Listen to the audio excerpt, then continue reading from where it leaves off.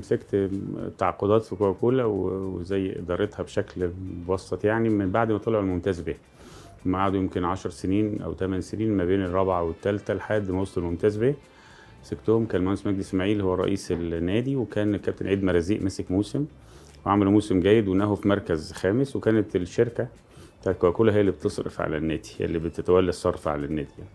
ولكن السنة الثانية جبنا بقى الكابتن تامر مصطفى هو مسك والشركة فضلت تصرف لحد يناير وبعدين بقى يصرف المهندس مجدي إسماعيل من عنده لأن الشركة توقفت عن الصرف وقالت مش عايزة تكمل في قصة الصرف ده. فبقى المهندس مجدي هو اللي بيتولى الصرف وقعدنا سنة ونص هو اللي بيتولى الصرف وغيرنا بقى الخطة من إحنا كل سنة كنا بنبيع لاعب واحد بمليون جنيه إن إحنا السنتين دول بعنا لعيبة ب 12 مليون جنيه. هم اللي كانوا بيصرفوا على النادي يعني. بس مجدي يصرف وبعدين نبيع لعيبة نجيب الفلوس اللي اتصرفت. لحد السنة الأخيرة اللي فاتت ديت دخل أحد المستثمرين المحترمين جدا مهندس محمد علاء. ده راجل محترم يشتغل في المقاولات الالكتروميكانكس وعنده شركة كذا شركة يعني. ودخل استثمر في النادي وراعى النادي واستثمر فيه وعمل طفرة بقى طفرة في كل حاجة في الناحية المالية والناحية الإدارية. والطفرة اللي حصل دي كانت سبب في إن جبنا تامر مصطفى كان مشي جبناه تاني بعد ست ماتشات كان الفريق في المركز الأخير. بفضل النظام الإداري والتوفيق الفني في اختيار تامر مصطفى الفريق قدر يصعد في الموسم الأول في وجود المهندس محمد علي الاستاذ محمد علاء وبعدين بعد ما طلع دوري ممتاز حصل بقى قصة الانتقال بتاع فيوتشر ده إحنا مالناش علاقة بيه. هو انتقال زي استحواذ بشكل ما. فدوت انت بس حصل البيع من بعيد عننا يعني مجرد الانتقال من من كوكاكولا لفيوتشر بشكل من أشكال الاستحواذ والناس اللي جت ناس محترمة جدا رجال أعمال محترمين جدا وعملوا فرقة قوية جدا. بس ما فيش ما فيش علاقة بقى حتى بين المهندس مجدي أو الأستاذ محمد علاء أو إحنا وبين النادي الجديد خلاص هو حصل بس انتقال كامل لاسهم النادي يعني. طب دلوقتي في تجربة تانية انت بتقوم بيها اللي هي المصري السلوم إيه الفكرة اللي جت منها يعني؟ نفس الأستاذ محمد علاء بنفس الفكرة اللي اتعملت انت عارف لما تعمل تجربة وتحقق بيها نجاح بتكتسب خبرات كبيرة الراجل اكتسب خبرات كبيرة جدا وكان في فرصة لرعاية المصري بالسلوم رعاية لمدة أطول شوية. أنت عارف التجربه بتاعت كوكاكولا بالذات في السنة الأخيرة تجربة ما كملتش. أنت التجربة إنك تصعد وتشتغل في الدوري الممتاز بإمكانيات جيدة وتحاول تحقق المعدل اللي لا يحققها أحد في الدوري المصري هو إزاي تكسب من الكورة. مفيش حد بيكسب من الكورة. بس لما جه عرض متميز لكوكاكولا فالاونرز يعني أثروا إن هم يسيبوا الموضوع يعني لأن جه عرض مالي جيد. لكن التجربة الجديدة دي أظن إنها هتكمل. لو حتى حصل صعود أو في سنة أو في سنتين أنا أظن إن هو هيكمل التجربة في وضع شكل نموذج لنادي يحقق ارباح عن طريق إنك تقلل المصروفات وتعظم الإيرادات فيحصل استمرارية بشكل ما. أنت عارف كل الأندية في الدوري الممتاز بتشتغل بايرادات بإيرادات بتجيلها مش من الكورة. اللي عنده نادي بيعمل عضويات الشركة بتصرف على النادي لكن ما فيش حد بيشتغل في فريق كرة القدم ما بين إن هو يصرف فلوس وفي آخر السنة يحقق إيرادات ويبقى المصروفات الأيديال إنك تخليهم صفر. الميزة بقى إنك تعمل فرق إن الإيرادات تبقى أكتر من المصروفات. طبعا الإيرادات بتيجي منين؟ بتيجي من بث بتيجي من إعلانات بتيجي من بيع لاعبين ودي أكتر حاجة عندنا لأن إحنا لا عندنا جماهير ولا عندنا فلوس محترمة في البث والحاجات دي. فبيع اللاعبين هو اللي ممكن يبقى الكور الأكبر في القصة دي. فده اللي إحنا بنفكر فيه في التجربة الجديدة يعني. باعتبارك يعني وكيل أهم المدربين دلوقتي في مصر كابتن إيهاب جلال. عايزين نعرف منك كواليس تولي كابتن إيهاب جلال نادي بيراميدز خاصة نادي بيراميدز الموسم اللي فات كان عايز الكابتن إيهاب جلال وأكتر من مرة كان في تقرير اللي هو خلاص يمسك بيراميدز وفي الآخر ما فيش حاجة بتحصل مقصة متمسك بيه. بعد كده الإسماعيلي لا عايز الكابتن إيهاب جلال يكمل. عايزين نعرف الكواليس بالظبط يعني أول مفاوضات رسمية كانت إمتى وإيه اللي حصل؟ هي المفاوضات كانت من زمان يمكن من أيام ما كان الكابتن إيهاب في مصر المقاصة وكان في مفاوضات بس طبعا كان بيعوقها بعض الحاجات زي إن إن النادي بيراميدز عنده مدرب وكابتن إيهاب مرتبط بتعاقد فكانت الأمور ما بتكملش. حتى بين المقصه وبين الإسماعيلي كان في بعض يعني المفاوضات الغير رسمية. لما كان الكابتن إيهاب هيسيب المقصه وانتقل بعدها للإسماعيلي. التعاقد مع الإسماعيلي كان ست شهور لنهاية الموسم لمهمة واحدة بس. إحنا قبل كده كان الكابتن إيهاب جاله النادي الإسماعيلي كتير وما كانش بيحصل توافق بين الكابتن إيهاب وبين إدارة الإسماعيلي. مش عشان حد كويس وحد وحش عشان اختلاف في الرؤى رؤى إيهاب في التدريب وفي إدارة الأندية ممكن تبقى مختلفة عن رؤية الإدارة اللي موجودة فما كانش بيحصل توافق. لكن كان في موقف صعب جدا النادي الإسماعيلي فيه وهو الهبوط اللي كان بيتعرض له. فكانت ديت ال- العنصر الأساسي اللي خلت إيهاب جلال يقبل انه يشتغل في منظومة مش محققة أهدافه علما بأنها منظومة جيدة بأهدافها لكن ممكن ما تبقاش هي اللي اللي تقدر تحقق أهدافه لكن هبوط صراع الفريق في الهبوط هو اللي خلاه يقبل المهمة. وبعد ست شهور لما المهمة انتهت والحمد لله الإسماعيلي قاعد في الدوري كان انتهى الموضوع وتم إبلاغ الإدارة واللجنة اللي موجودة إن إيهاب مش هيكمل. ولكن كان في محاولات المحاولة من الإدارة بصراحة واللجنة إن إيهاب يكمل ف فإيهاب من باب إن هو يعمل اللي عليه قال لهم على ال- العناصر وال- والأدوات اللي هو عايزها عشان يشتغل بيها ما بين حاجات ليها علاقة باللاعبين اللي يستخدموا وتجديد للاعبين موجودين وتطوير في في منشآت النادي زي الجيم وزي ال- الفندق وطلب الحاجات دي من بدري. بس للأسف طبعا الظروف نتيجة إدارة ولجنة يعني في قصة كده وانتخابات قربت يعني ففي قصة خلت الأمور ما يبقاش فيها تضافر لتحقيق الأهداف دي فكان في صعوبة إن هو يكمل وتم إبلاغهم من بدري. وجالنا عروض كتيرة جدا. أهمهم كان المصري وكان بيراميدز وكان إيهاب ناوي يريح شوية. كابتن إيهاب جلال مسؤولي بيراميدز طلبوا من الكابتن إيهاب اللي هو يعلن اللي هو ساب الإسماعيلي عشان يتفاوضوا معاه. صحه الكلام ده كان لا إيه؟ لا لا ما فيش الكلام ده خالص. إحنا اعلنا إن مش موجودين في الإسماعيلي بشكل مباشر جدا ولكن أنت عارف نادي الإسماعيلي يعني قصته في جماهيره مش في يعني الإدارات أو ال أو ال سواء فنية أو إدارية بتراعي جدا مشاعر الجماهير فما بترضاش تعلن بشكل يبقى يبقى فيه إحراج لمشاعر الجماهير شوية. فكان الناس عندها وهي اللي تعلن إن في الآخر يبحثوا عن مدير فني. وإيهاب كان خد قرار قلت لك إنه مش هيشتغل السنة دي وكانت الفكرة بالنسبة للمصري؟ جاله المصري تاني؟ آه كان هو خد قرار إنه مش هيشتغل وكان القرار ده نهائي. وأنا تعبت مع إيهاب جدا عشان أقنعه إن إحنا لازم نشتغل وكان عندنا عرضين عرض من المصري بعد ما علي ماهر مشي من النادي قبل المدرب التونسي الشعباني. آه قبل ما يجي. وكان حصل كلام جدي جدا بس برضه كان إيه الفكرة كلها إن كان الإسماعيلي بقى ودي النقطة اللي إيهاب بيحافظ عليها شوية وهي شكله كان نفسه النادي الإسماعيلي يتعاقد مع مدرب عشان يبقى عنده حرية في إن هو ينتقل ما يتقالش إن هو سابهم وراح نادي تاني قبل ما يتعاقدوا مع حد. ولحسن الحظ إحنا كان عندنا معلومات كاملة إن هو بيكلمه الكابتن طلعت. وأول ما تم التعاقد ابتدى التفاوض مع الآخرين. المصري كانش قادر يصبر اليومين ثلاثة اللي إحنا كنا عايزين نقعدهم البيراميدز بصراحة كانوا هم الأكثر جدية. والحمد لله التفاوض ما خدش وقت يعني. طب ليه الكابتن قرر اللي هو كان يقعد ما يدربش؟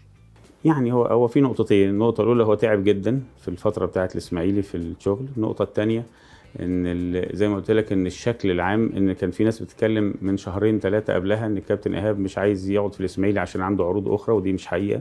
فكان عايز يعني يقعد عشان ما- يبقاش الكلام ده صحيح. فأنا قلت له الناس كده كده هتتكلم صدقا كذبا هيتكلموا. فإحنا نعمل الصح والصح إن أنا عندي فريق قوي. عناصره مش مش مش بنفس القوة السابقة. يعني برضو بيراميدز الإمكانيات المالية اللي فيه إمكانيات مالية حصل فيها آه، مانيمايز شوية تقليل شوية. ولكن العناصر اللي موجودة لا والمستقبل بتاعهم جيد وبالذات إن إيهاب قلما يمسك فرقة في بداية موسم فبالتالي هو اللي يبقى بنسبة كبيرة هو اللي بناها بنسبة كبيرة. فعوامل النجاح فيها بتبقى أكتر شوية. فأنا يعني بصراحة ضغطت عليه جدا وهو يعني استجاب برضه وكانت التفاوض ما خدش 24 ساعة بيني وبين آه، كابتن عمرو بسيوني مدير التعاقدات آه، مهندس ممدوح عيد ما خدتش وقت بصراحة. يعني أسرع تفاوض. طب بالنسبة للصفقات أنت بتقول الكابتن إيهاب هو اللي يعتبر شايف الصفقات. يعني وليد الكارتي كان الكابتن إيهاب هو اللي طالبه؟ طيب هو كل الصفقات سواء حسين السيد أو وليد الكارتي أو أو فخر. لا فخر ملناش علاقة ده جه قبل إيهاب ما يروح بكتير يعني هو من اللاعبين المميزين يعني ولو كان إيهاب راح كان هيطلبه يعني لكن ال- الصفقة الوحيدة اللي كان إيهاب طلبها ممكن كانت إدارة النادي ما فكرتش فيها لظروف معينة كانت هشام محمد نتيجة ظروف آه، خاصة ب زي ما قلت لك النواحي المالية مش موجودة إنك تتعاقد الطلبات المالية اللي الناس بتطلبها من بيراميدز مغالاه جدا فيها لا يستحقها اللاعبين اللي بيطلبوا فكان في فرصة لهشام إنه راجل free ما عندوش تع- تعاقد مع نادي ومحتاجين يجيبوه. آه، وليد الكارتي كان ناديه معصلج شوية ولكن إيهاب لما جه واتعرض عليه من اللجنة الفنية في جوه النادي وال scout team اللي موجودين اتفرج عليه عجبه جدا جدا يعني فقال لهم لا طبعا خلصوه. كان حسين السيد طبعا مطلوب وهو عارفه فما كانش فيه مشكلة يعني. لكن طبعا مش مش دي حجم الصفقات. كارتي آه وحسين طبعا آه وهشام آه لكن لكن بيراميدز كان ممكن في ظروف أخرى بإمكانيات عادية سابقة كان ممكن يبقى الصفقات بتاعتها أقوى من كده كمان. طيب ال- الكابتن في الوقت ده ما كان موجود؟ كان في قبل قبل إيقاف القيد للزمالك كان في كلام إن خلاص بيراميدز والزمالك اتفقوا على انتقال دونجا وأحمد أيمن منصور وعبد الله السعيد. هل الكابتن كان يرحب إن حد فيهم يمشي؟ لا للأمانة لا. يعني دونجا وعبد الله السعيد وأحمد أيمن لا كان الكابتن ممكن يبقى يعني كان أحد لما هو قبل ما الكابتن كان في لعيبة مشت من بيراميدز كان ممكن الكابتن يبقى محتاجها زي أحمد الشيخ وزي عمرو مرعي الناس اللي اشتغلت معاه قبل كده ولكن هو كان ملوش علاقة بالموضوع. أنا قلت لك الموضوع خد 24 ساعة يمكن عمرو مرعي والشيخ مشوا قبل الكابتن إيهاب ما يجي بيومين وده ممكن يبقى من سوء حظهم يعني. لو الكابتن إيهاب كان جه ما كانوش مشوا.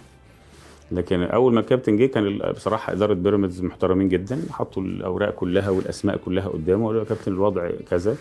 حتى كان من ضمن الأسماء اللي ممكن تتحرك وكان الكابتن إيهاب برضه لو ما كانش في بدائل كتيرة كان ممكن يخليه موجود جون أنتوي ولكن هو وافق إن هو يتحرك.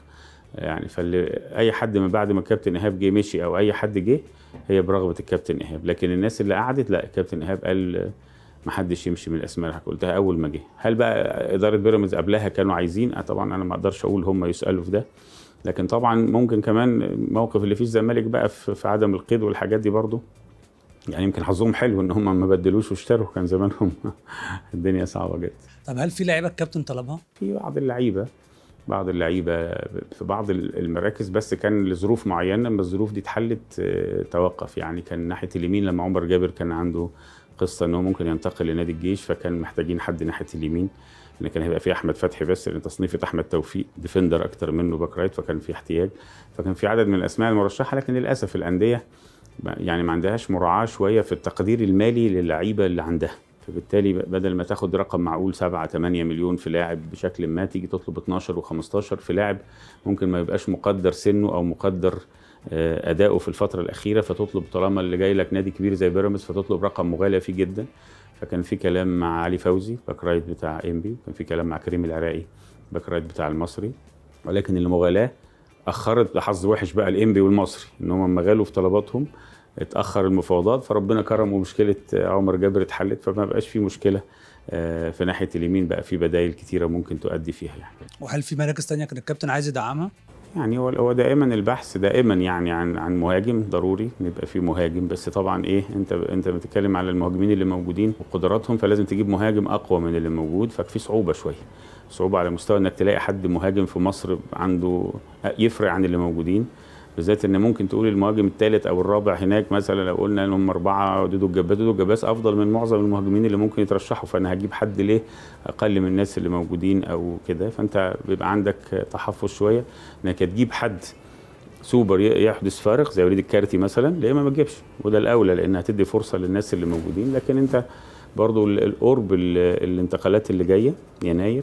ممكن خلت الأمور أهدى شوية عشان الأمور المالية كمان تكون اتضحت واتظبطت لأن زي ما قلت لك بيراميدز قدر بيراميدز وقدر الأهلي وقدر الزمالك إنه بيشتروا ب 200% من القيمة الحقيقية لسعر اللاعب فدي بتعوق شوية فلازم تنتقي صح لو جوه مصر أو تجيب لاعب أجنبي يكون على مستوى مختلف شوية البعض بيتكلم إن الكابتن إيهاب أول يعني فريق يمسكه اللي يبقى فيه نجوم كتير طبعا باللي نشوفه في بيراميدز والبعض يشكك في في نجاحه فبترد على ده إزاي؟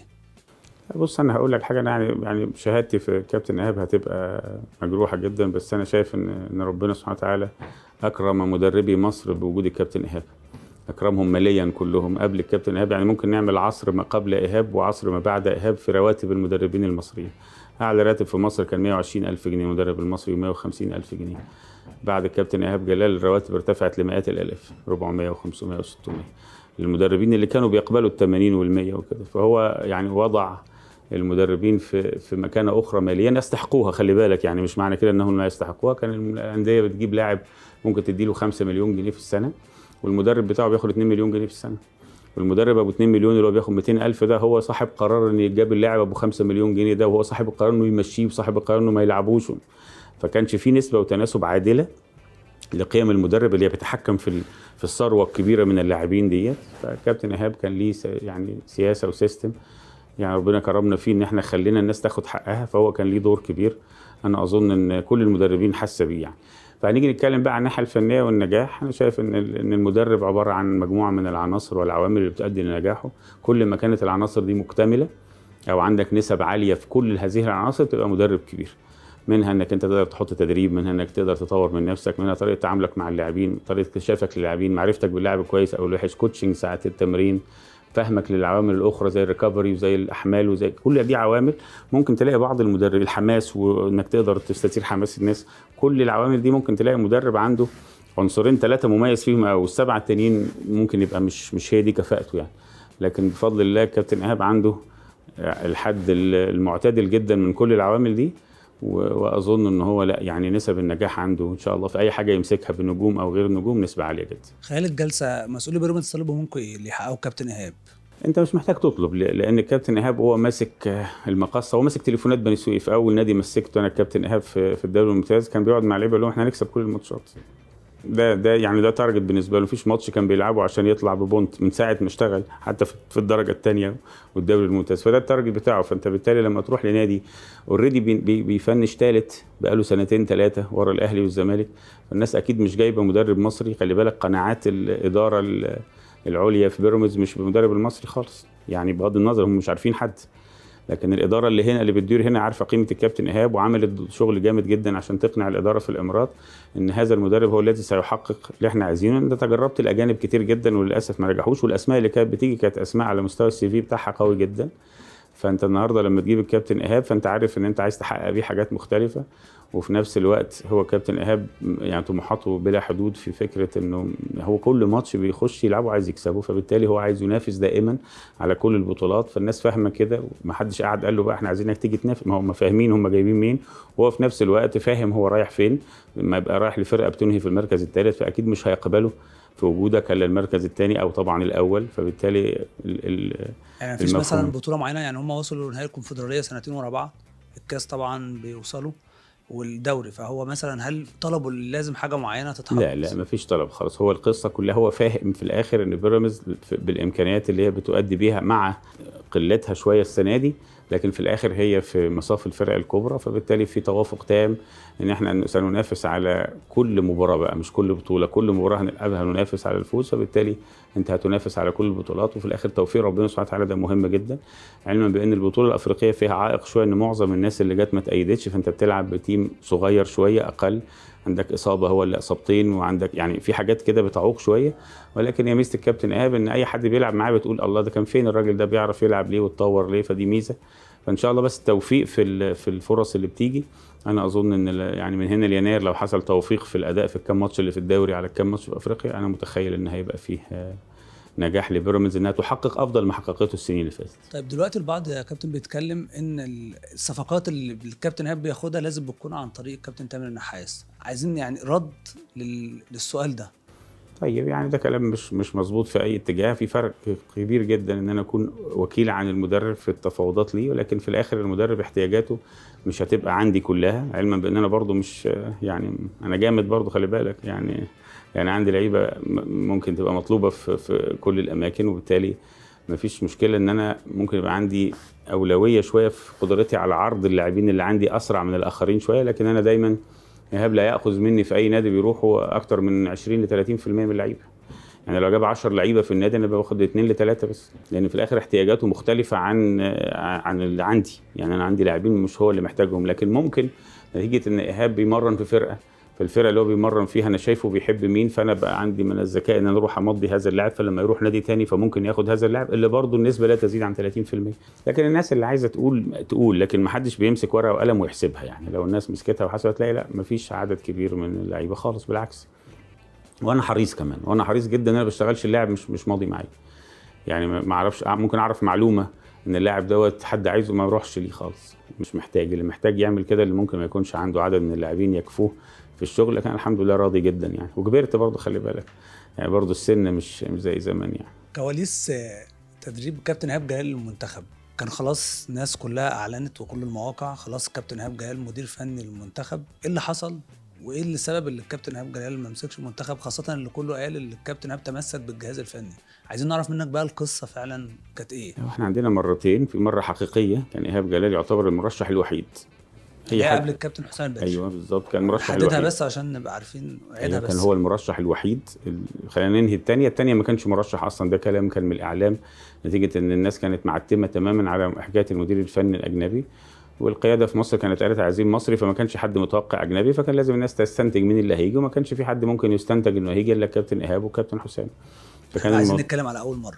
أنا بس بقفل. بقفل تاني مرة عشان هو تم استخدام الموضوع بشكل يعني إيه إعلامي شوية عشان في الآخر لما يجي كروش اللي جه يبقى الأمور مستقرة فما كانش في تاني مرة. أول مرة لا الموضوع انتهى يعني. حصل جلسات مع قيادات في الاتحاد وقيادات في الوزارة وتم الاتفاق على كل حاجة وتم الاتفاق على الجهاز الفني وكانت الحاجة الوحيدة اللي ما تمش الاتفاق عليها الناحية المالية. وأنا بنفسي كلمت محمد فضل وقال العرض بتاعه اللي هو كان قليل جدا وأنا قلت له يعني تمسك مصر ما بتشتغلش نفسك بالنواحي المالية في التفاوض خالص. بالعكس إحنا في كل الأحوال منتخب مصر بتاخد فيه أقل مع ده مش طبيعي بتاخد فيه أقل من الأندية. لكن في الآخر إنك تاخد منتخب مصر علما بأن الشغل مع المنتخب أسهل من الشغل مع الأندية.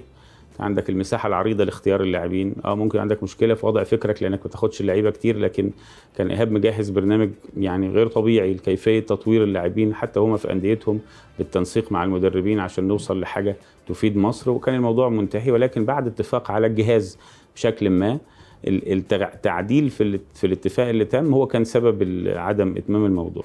اللي هو إيه التعديل بقى علشان هو الناس بتتكلم إن الكابتن عصام الحضري كان يبقى مدرب حراس. خلينا نقول نقطتين نقطة في حق الناس حقيقية ونقطة في حقهم مش يعني مش صحيحة يعني. النقطة الحقيقية إن هم قالوا لإيهاب هات اللي أنت عايزه. حطوا له اختيارات كتيرة جدا واختار اللي أنت عايزه. ولكن كانت النقطة في عدم وجود عنصر أو عنصرين من اللي الكابتن إيهاب بيستريح جدا في التعامل معاهم.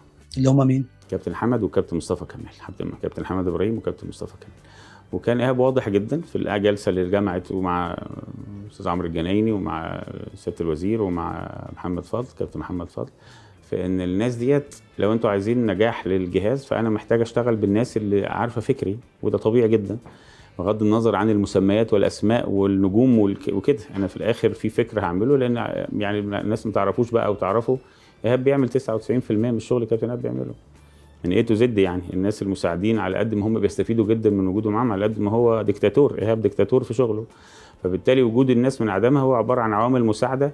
فأنت هتجيب لي حد ما اشتغلش معايا ايا كان كفاءته أنا هقعد أعلم فيه طريقتي وشغلي فهناخد وقت وده مش طبيعي. في ظل متطلبات كانت هتبقى مطلوبة منه كبيرة جدا في تحقيق نجاحات كبيرة في فوز في كل المباريات في المنافسه على صعود لكأس عالم لأمم أفريقيا.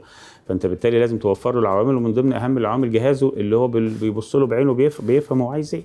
فليه تجيب لي حد تاني؟ أنا لسه مش عارف. فهو اتفق معاهم من أول يوم. فوافقوا وكانت الأمور منتهية. بس جينا في لحظة قبل التوقيع بيوم حصل بقى التعديل بطريقة أنا شايفها مش مناسبة. يعني كان ممكن أنت يبقى في ذكاء شوية في التعامل إن كان ممكن نجيبها بطريقة مش اللي جت بيها.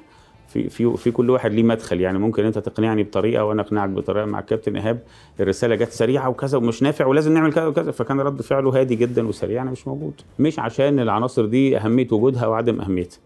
هو مجرد ما نتفق على حاجة خلاص واتفقنا عليها في غرفة مغلقة ما ينفعش نيجي بصوره بصورة أخرى نغيرها. كان ممكن مثلا طب أنهي أهم؟ العنصر الأهم ويبقى في نقاش عليه طالما في فرصة. لكن ساعات بيبقى انت إنك أنت ترضي الناس كلها أو الأندية باختلاف انتماءاتها شوية فتحاول تعمل توازن ما في في شكل تشكيل جهاز ممكن يبقى عائق كبير جدا بيواجه الناس في في عدم اختيار ال- الكفاءات يعني.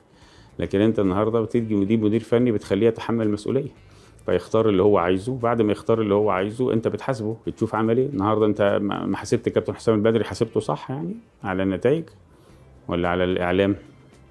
على مستوى النتائج الراجل ناجح جدا. لكن على مستوى بقى القبول اللي عنده من عند ربنا سبحانه وتعالى أو مستوى أنت حر يعني ملوش علاقة بالنتائج. الراجل ناجح بكل المقاييس في مقام به. لكن انت برضو جيت مشيته لهدف أو لهوى أو ل- لفكره عندك أو لسوشيال ميديا تبنت الموضوع بشكل ما أو توجه ما حس- حسم الموضوع فما كانش فيه ال- الاختيار أو اختيار سواء انت بتجيب أو اختيار وأنت بتمشي ما كانش فيه كامل إرادة وإيه واختيار على أسس معينة ما كانش فيه الكلام ده. فبيحصل بقى المشاكل اللي إحنا بنعاني منها دي. مشيان الكابتن إيهاب من أي مكان هيبقى مرتبط بالنتائج مش مرتبط بالأداء. مليون في المية الأداء هيبقى كويس. إن شاء الله يعني نثق في ربنا يعني. لكن النتائج هي اللي بتبقى العامل الأكبر في في إن إيهاب يكمل في مكان أو لا. رأيي يعني إنه لازم هيحسن من الناس اللي موجودين حتى لو ما جابش عناصر لكن أنت النهارده بتتكلم على على منتخب مصر اللي عندك فيه لو قلنا على مستوى الدوري الممتاز 30 لاعب في 18 نادي يعني بتتكلم في 500 وشوية لاعب بتختار منهم غير المحترفين. هي القصة كلها إزاي تبحث عن طرق أو لإيجاد مساحات وقتية تمرن فيها الناس عشان ياخدوا فكرك؟ فتبتدي تشتغل عليها. فأنت عندك فرايتي في الاختيار ولكن عندك ضيق وقت شوية فيه إنك تحط الناس في, في مع بعض عشان يتطوروا ويندمجوا مع بعض. ده العيب. فكان هيبقى النتائج الأداء كويس لكن ممكن النتائج هي اللي ما تخدمش. لكن ممكن آخرين تتكلم على أداء. يعني كابتن حسام البدري مشي أداء مش نتائج. النتائج إيجابية لكن الأداء ممكن ما يكونش عجب الناس شوية أو تعادلت بشكل مع فرق أنت شايفها يعني ضعيفة مثلا فباداء مش كويس قوي بس يعني في الآخر أنا متخيل ان انت عندك عاملين يخلوا واحد فيهم لو اتحقق بنسبة كويسة لابد من استمرار الجهاز. لو واحد بيحقق نتائج فمحظوظ يا سيدي خليه يكمل بدل ماشيه معاه. أو واحد بيحقق أداء كويس جدا بس النتائج مش من اداء اصبر النتائج هتيجي. لكن هو التغيير بيجي لو أداء وحش والنتائج وحشة لازم تغير. باعتبار حضرتك من أكبر وكلاء في مصر اللعيب اللي بيمضي لأكتر من نادي تأثير رابطة الأندية يبقى إيه؟ يعني اللعيب بيجي يمضي النادي هنا وهنا وفي الآخر يقول لك النادي اللي هيخلص طيب، اللي الموضوع استغنى سهل. بس الموضوع, الموضوع ده موجود في مصر بس. نقول الموضوع سهل شوية. خلينا نتكلم لوائحيا الأول وبعدين نتكلم على ثقافة يعني. لوائحيا اللاعب اللي بيوقع لناديين وهو مرتبط بنادي ما يمضي العشرة. في الآخر ارتباط الموضوع باستغنى النادي بيقدر ياخدها. ممكن بعض الوكلاء ياخدوا اللاعب بتاعهم عشان يضمنوا حقهم إن هم عملوا شغل للاعب يمضوه في النادي ده والنادي ده والنادي ده يقول له ما يهمكش النادي اللي يعرف يخلص يخلص. ولكن ده للأسف بيخلق جو منافسة بين الأندية فيرفع سعر اللاعب وممكن الموضوع ما يتمش. يبقى اللاعب مضى لناديين ثلاثة وفي الآخر ما انتقلش. أنت ال- الصح إنك تختار نادي أنت شايفه مناسب للاعب أو اللاعب يختار النادي المناسب يروح يتفاوض معاه لوحده وهذا النادي فقط هو اللي يروح يتفاوض مع النادي اللي عنده اللاعب. فالموضوعات ممكن تتم أسرع من إنك تخلي فيه ناديين ثلاثة يبقى اذا ما فيش مشكلة. حتى لو قلنا اجرائيا ما فيش مشكلة لكن هي نسبة ثقافة إنك عايز تخلص الموضوع فلازم تخلي اللاعب يختار نادي واحد ثم النادي ده هو اللي يتفاوض مع النادي. لكن لو إحنا جينا بقى على ال- اللاعب الحر اللي هو عقده بينتهي ده لو مضى في ناديين بيبقى عنده عقوبة شديدة جدا إن هو يمنع اللاعب بيتعرض للإيقاف ست شهور وغرامة مالية كبيرة. والناديين ما بيتعرضوش لحاجة لأن الاثنين يعتبروا ما عندهمش مشاكل في إن اللاعب ده حر فمن حقه يمضيه يبقى لعيب عند اللاعب. لكن في الحالة الأولانية لو اللاعب مضى لثلاث أندية وما انتقلش لو تم إثبات ده اللاعب بيتوقف والأندية بتتعرض لمنع من القيد فترتين قيد. في مثل بيقول إيه؟ بيقول يعني لازم تضرب مش عارف إيه عشان يخاف إيه. لو أنت كنت عملت موقف صحيح لوائحي وأوقفت ناس يا إما مش فاهمة لائحه يا إما بتستعبط أو بتستقوى فهت إن أي حد يعمل القصة دي. لكن بما إن اللوائح رخوة شوية تطبق على الضعيف ما تطبقش على القوي فيحصل المشاكل اللي إحنا فيها دي. مروان محسن مروان محسن اللجنة الفنية الموجودة في الأهلي جددت عقده السنة اللي فاتت ونفس اللجنة الفنية هي اللي دلوقتي قررت رحيل مروان محسن. طيب يعني خلينا نقول إن مروان يعني ممكن يبقى يبقى نحطه في أك أكثر اللاعبين آه، مظلومية في في تاريخ الكرة المصرية. نحطه مع 10 كده أكثر الناس اتظلمت جماهيريا لأنه لأنه اتحسب حساب شديد جدا من الجماهير. اللي أثرت طبعا على الإدارة شوية ومعذورة طبعا. الإدارة وقفت كتير جدا مع مروان لكن هم كان التقييم بتاع مروان كله مرتبط بالأهداف. فممكن الجهد اللي كان بيبذله ما بقاش مرئي للناس ولكن يؤخذ بقى الفرص اللي بتروح منه أو الأخطاء اللي بتحصل من كل الناس فالناس حسبته ولكن كان ال- ال- المعيار الأساسي لمشيان مروان سواء في الأهلي أو عندنا هو المشاركة. يعني قبلها بسنة قبل التجديد بسنة كان مروان عنده نفس المشاكل في في عدد الأهداف ولكن كان الجهد بتاعه رهيب وكان أساسي في المنتخب وكان أساسي في الأهلي. فكانت المعيار مش إن أنا موفق وبجيب أجوان ده المعيار إن أنا بشارك. طالما بشارك فوق ال 70 80% أمشي ليه من النادي بالذات إن مين يسيب الأهلي؟ فكانت الفترة اللي جددنا فيها كان هو موفق جدا جاب أربع أو خمس أهداف وكانت الأمور ماشية وحصل التجديد. كان المعيار بقى السنة الأخيرة اللي إحنا خدنا القرار والأهلي برضو خد القرار في المشيان إن إن إن نسبة المشاركة كانت قليلة جدا. يعني مش قليلة جدا كانت أقل من الطبيعي. وفي عامل آخر إن كان مثلا مروان ما بيجيبش جوان والمهاجمين التانيين ما بيجيبوش جوان. بس مروان ممكن يبقى أفضل منهم للمدربين من ناحية الجهد والتحرك وخدمة الفريق. لكن السنة اللي فاتت ظهر محمد شريف وأصبح من هدافين الدوري و انت استعنت بواليا وما توفقش وك- بس في الآخر أصبح شريف هو اللي بيلعب فبالتالي مشاركات مروان قلت شوية. كان مروان عنده عروض من كل أندية مصر وكان الاختيار مبني إنك تروح نادي ما فيهوش ضغوط. يعني حتى بيراميدز كانت تفكر بجدية في مروان ولكن إحنا لما جينا نختار في في حتة حتى يعني بجدية بس يعني إيه مستنيين حاجة معينة يبيعوا لاعب أو حاجة زي كده. بس إحنا لما جينا نختار قلنا لا مش هننتظر لأن فيوتشر بتعتبر بالنسبة لنا مثالي في فريق آه، قوي جدا فريق آه، بدأ بس كبيرا. بيراميدز برضه مش جماهيري أنا هرجع لك هو بيراميدز مش جماهيري. بس الفريق قوي ومدرب قوي عارف مروان كويس وعارف إمكانياته. علي ماهر مهاجم فيعرف إمكانيات اللاعب. علي ماهر أنا متخيل إن السنة دي مروان هيحقق معاه حاجات يعني ما حدش هيندم عليها بس هنقول إنه هيحقق حاجات الناس هتبقى مستغرباها من إن شاء الله الأداء واللي هيعمله. آه، بيراميدز ما كانش هيبقى الضغط جماهيري لا كان هيبقى ضغط جماهيري أهلاوي شوية. في حالة تضييع فرصة أو حاجة كان هيبقى في قصص ضخمة جدا من الجماهير هتتكتب. فما كناش محتاجين ضغوط خالص لكن هو راح مكان ان شاء الله الضغوط تبقى قليلة فيه ويقدر يحقق نجاحات. لأن أنا متخيل إن مروان هينافس السنة دي على هداف الدوري. أنت شايف إن قصتك دي إن مروان محسن ما خدش دعم من لعيبة الأهلي؟ مش عايز أقول كده بس عايز أقول إن لو كان حصل دعم أنا فاكر جول مثلا حسام غالي راح عاملها المتعب في فترة كان متعب واقع فيها. يعني متخيل إن كان ممكن أفكر في مروان شوية لأن الناس بتحبه جدا. يعني أحد أهم الداعمين لمروان إنه يروح آه، فيوتشر سعد سمير وندفت يعني كانوا بيتكلموا مع الكابتن علي لما اتأخرنا شوية في التفاوض كانوا هم اللي بيضغطوا. هل اللعيبة بتحبه يعني من باب الحب إن إحنا بنخرج سوا ولا فاهمة قيمته؟ اللعيبة عارفة قيمته فكان ممكن يحصل بعض المساعدات اللي ممكن تخلي اللاعب يحرز أهداف فالامور لكن في الآخر هو نصيب وتوفيق. لكن ما أقدرش أقول مروان من أحد أهم المهاجمين في مصر. طبعا الناحية التهديفية دي زي ما قلت لك رزق يعني مش مش هنقدر نتكلم فيه قوي ولكنه مهم. يعني معيار من استمرار لاعب آه، في نادي كبير زي الأهلي يبحث عن البطولات فمحتاج المهاجم بتاعه يجيب أهداف. فطبعا هنشوف. يعني في مهاجمين جات حسام حسن ده مهاجم كويس جدا. خلينا نستنى سنة ونشوف عدد الأهداف اللي هيجيبها. هل هي تساوي عدد الأهداف اللي جابها في سموحة ولا لأ؟ فنيجي نقيم بقى ولا جهده إيه ولا لسه هياخد فرصة. ففي الآخر ممكن تجد إن إن إن إن ظاهرة عامة إحنا ما عندناش يعني يعني ما مهاجم يجيب 16 17 جون في موسم كامل مكون من 34 مباراة. معدل التهديف ده يعني يعني طوله يعني ضعيف جدا يعني ما جابش كل ماتش جونين يعني مش طبيعي. يعني ووصلوا كام فرصة وضيع قد إيه؟ سيبك كمان من الأجوان اللي جابها وضيع قد إيه؟ خلينا ناخد معيار التضييع يعني. لو لو محمد شريف كمهاجم جاب 17 جون وضيع 50 جون أنا مش شايف معدل كويس. لو اشتغل على الجون كتير فيجيب كمان 10 من ال 50 دول يبقى معدل كويس جدا. بس أنا متخيل إن فوق ال 20 رقم لم يحقق في آخر 20 سنة يمكن إلا مرة. كان نفسي إن مروان يبقى عنده نقولها إيه البلاطة أو عدم التفكير في في الجماهير وال- والحاجات دي. كان ممكن يبقى أموره أحسن شوية. وهي متابعة ال social media دي برضو مرهقة شوية. وللأمانة في حاجات حلوة بتتقال. يعني أنا كنت مبسوط جدا من الاعلان بتاع مروان محسن. جدا. الناس نقدته قوي. أنا كنت مبسوط جدا. لأنه خفف عليه ضغوط رهيبة. متخيل ان إنه ياخد الإعلان يحط ال- الحاجة اللي عارف أنت؟ ده اللي مضايقاكوا طب والله اعملها في إعلان يا يا أولاد الذين. عشان تخلصوا عليا. فأنا كنت مبسوط من الإعلان ولما اتسألت عليه عجبتني جدا. يعني صاحب فكرة الإعلان ده لازم ياخد مكافأة. إنه يستخدمها. زي إعلان الولد باسم جميل باسم مرسي لما طلع عمل ترند. يعني إنك تستفيد من الحاجة اللي بتحصل لك بشكل إيجابي فترفع بيها ضغوط عن نفسك دي حاجة جيدة جدا. مصطفى البدري أنت كنت وكيله وتعاقد مع الأهلي وبعدين رحل مجانا ورجع دلوقتي الأهلي. إزاي بقى القصة؟ طيب هو مصطفى إحنا لما جه الأهلي كان جه الأهلي في الناشئين. في مشكلة في فجوة شوية بين قطاع الناشئين والفريق الأول في بعض اللي مش فجوة يعني يعني في اختيارات بتتم في قطاع الناشئين مختلفة عن الاختيارات اللي بتتم في الفريق الأول. يعني ممكن قطاع الناشئين يعجبه لاعب فيجيبه يخدم القطاع لكن إن اللاعب ياخد الفرصة في الفريق الأول ممكن يبقى فيها صعوبة شوية.